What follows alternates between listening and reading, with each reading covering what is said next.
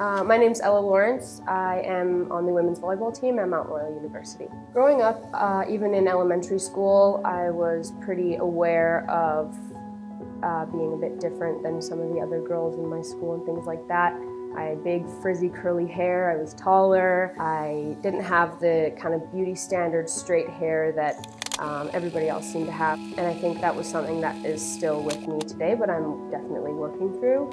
The number one thing I would communicate to young athletes is to don't be afraid to take up space.